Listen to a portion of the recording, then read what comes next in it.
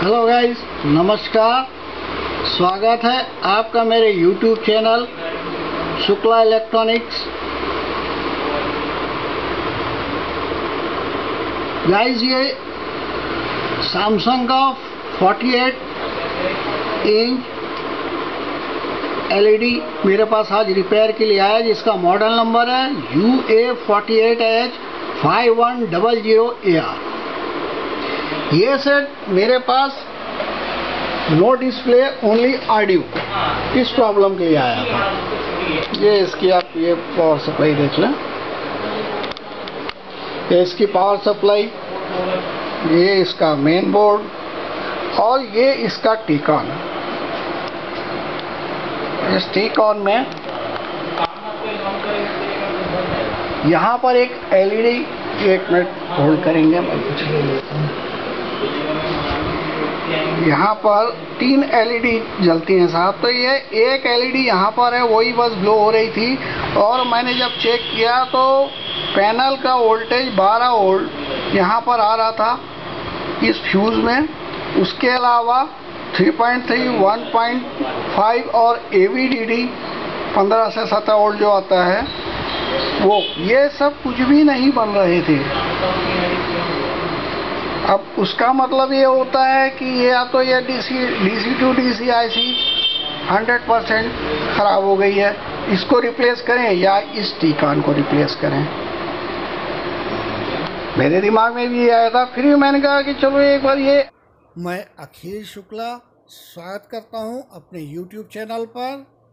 क्या आप अपने शहर पे C R T T V technician के लिए L E D L C D repairing की ट्रेनिंग ऑर्गेनाइज करना चाहते हैं तो कृपया मुझसे संपर्क करें दिए गए नंबरों पर।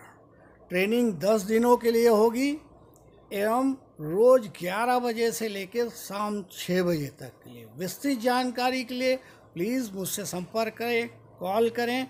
डिटेल में और जो आपको जानकारी चाहिए प्रदान की जाएगी। धन्यवाद। ये एफ़ एफ़ सी केबल को ओपन करके देखते हैं। शॉर्टिंग कहीं ये स्केलर साइड तो नहीं है। मैंने ये एफ़ एफ़ सी केबल को ओपन किया। ओपन करने से ये हुआ कि यहाँ पर ये सिंगल एलईडी जल रही है। उसके पास में ही 3.3 वोल्ट बनता है। जो वीसीसी वोल्टेज होता है टीकॉन का, वो बनने लग गया। और कोर वोल्टेज 1.5 वोल्ट बनने लग गया। जो यहीं पर डॉट बना हुआ है और प्रिंट भी है, वो बनने लग गया। बट ए नहीं बना। एवीडी ज़ीरो था, कुछ भी वोल्टेज जाके आ नहीं रहा था, कुछ नहीं हो रहा था, इसका मतलब वो वी जी और बाकी वोल्ट भी नहीं बनेंगे। ये दूसरी आईसी यहाँ पर बनाया है वी और वी इसे निकाला है और लेवल शिफ्टर का काम लिया है। ये सेकंड सी है, इसकी टीकॉन आईसी हो गई? खैर, मैंने ये एफएफसी केबल को निकालने के बाद में जब ए नहीं बना 3.3 और 1.5 बस बना तो मैंने ये, मैंने उस समय दिमाग में आता है कहीं सी के वी लाइन में शॉर्टिंग तो नहीं है, उसको ब्लॉक करें। यहाँ सी के वी लाइन में दिखा दूँ आपको, ये सी के वी लाइन ये यहाँ पर। ये जूम करता हूँ मैं। ये देखिए। ये सी के वी लाइन है। मगर मैंने सी के वी लाइन ब्लॉक करने के पहले, मैंने ये किया कि ये जो second F F C cable है second F F C cable को भी मैंने ओपन किया। इस केबल को ओपन करने के बाद भी सिचुएशन सेम थी, यहाँ ए वी वोल्टेज नहीं बन रहे थे।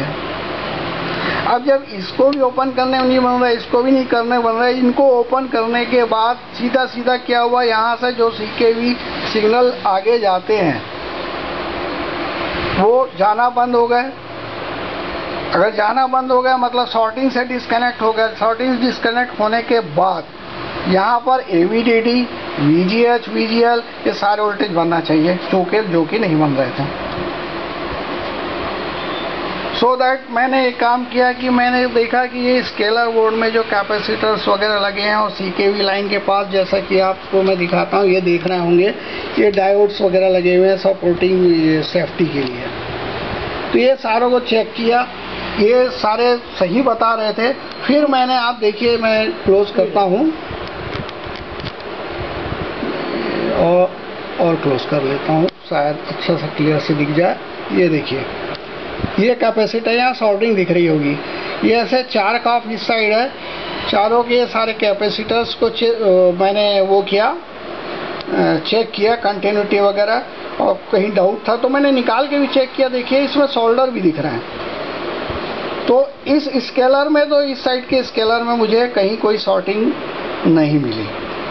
सो so दैट मैंने जाले स्केलर की को चेक करना शुरू किया। तो इस स्केलर में ये जो कैपेसिटर देख रहे हैं, यहाँ पर मुझे sorting milli.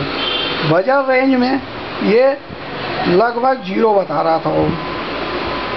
So so that फिर मैंने क्या किया कि वन बाय वन याले ही लाइन के कैपेसिटर पहले ट्रेस कर लिया कंटिन्यूटी से ये ये पहला कॉफ है इस साइड के स्केलर का।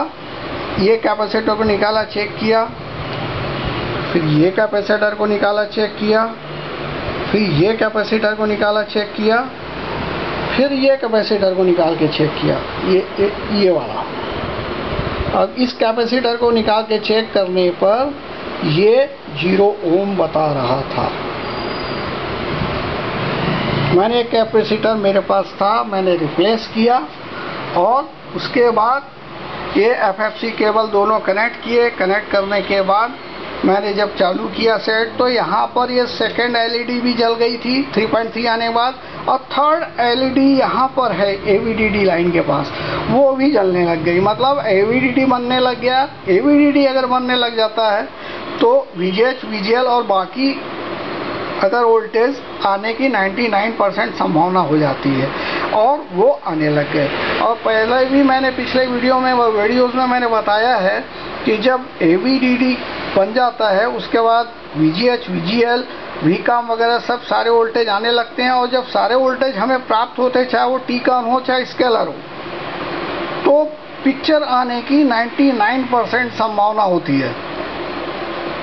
और जैसा कि मैंने देखा पिक्चर बनने लगी, आपको भी दिखाता हूँ उस, और ये उससे पहले मैं वो दिखाता हूँ आपको कि कैपेसिटर जो शॉर्ट था, देखिए मैं दिखाता हूँ तो अकेले वीडियो बना रहा हूँ तो कैमरे को यहाँ रखता हूँ, आपको दिखाता हूँ। लाइन पे रहेंगे गाइस मैं मीटर वगैरह अरेंज कर लेता हूँ।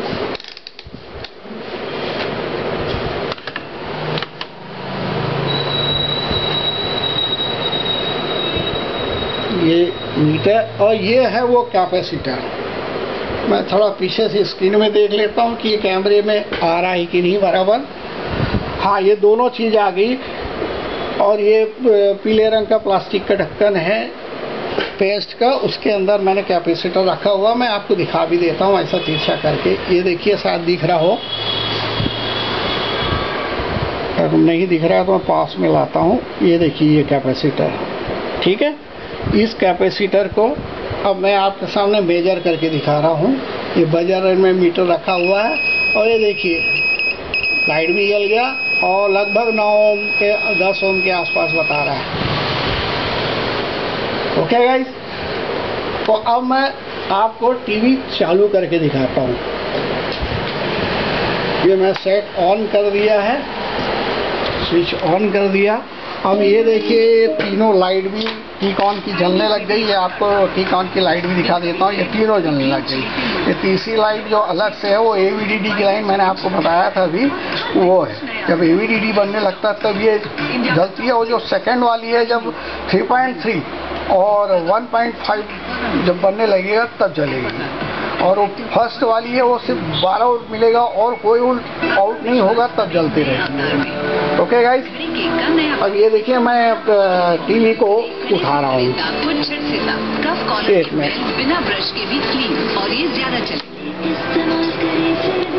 ये देखिए गाइस ये आपको पूरी पिक्चर सही, बिल्कुल, बिना किसी प्रॉब्लम के ओके गाइस ये वीडियो कैसा लगा? कमेंट्स करके ज़रूर बताएँगे। And please like share and subscribe my channel my YouTube channel name is A K Shukla electronics अभी तक मैंने तेरह से चौदह वीडियो लोड कर चुका हूँ। Please watch my all videos okay guys thank you thank you very much thank you for watching